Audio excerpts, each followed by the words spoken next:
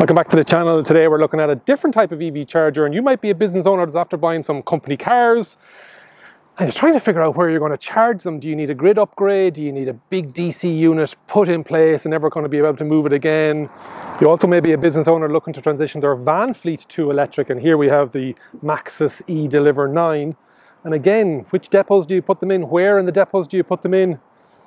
Lastly, you may be a bus operator looking to transition your fleet to electric. You may also be a bus company that bought electric buses and didn't put in the chargers. If you know who I'm talking about, jump into the comments. If you know who the, somebody within that company, make sure you share this video. Today we're going to look at the Kempower T-Series portable DC charger. Let's get into the details.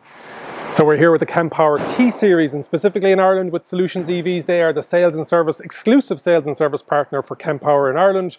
And what we're going to talk about is the input, the output, the features, all of the benefits of using something like this rather than having to upgrade your grid connection in the building or wherever you're charging your cars, your vans, or even your buses. Uh, so let's look at what it takes to power the T-Series. So what we have here is you have to be in a commercial building that has three phase. In the UK and Ireland, it's usually a commercial building. On the continent, you, majority of wiring is all three phase. And so you need a minimum of a 32 amp outlet or this one we have here is a 63 amp outlet. You can see the socket here. And then the cable that joins this from the wall to the actual T-Series itself is five meters.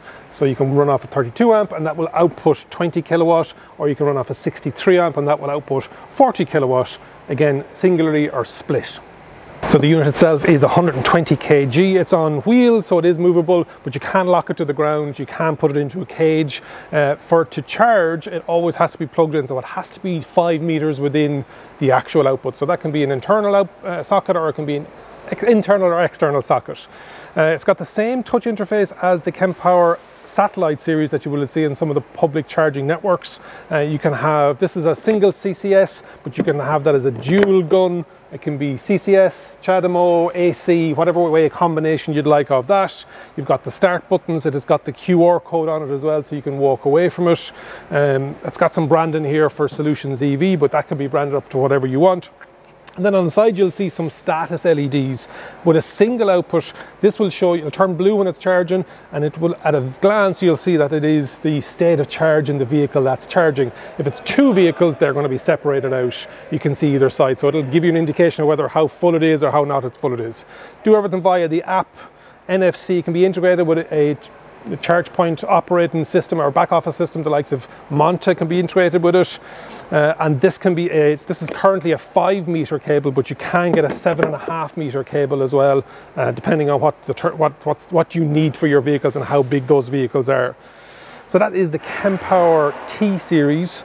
Um, perfect environment for it. So you might not need a grid connection. You may need to upgrade. You might not need to upgrade what you're currently getting, but you want to introduce that electric fleet, be that cars, be that vans, be that buses. And so then with the T-Series, with the wheels on the side of it, obviously it is portable to an extent. So having sockets around the building and around the premises rather than having your DC charger in situ, never to be moved again, um, make sure that's unplugged, tip it back, uh, as said, 120 kgs, so super movable. If you've got any comments, drop it in to the comment below.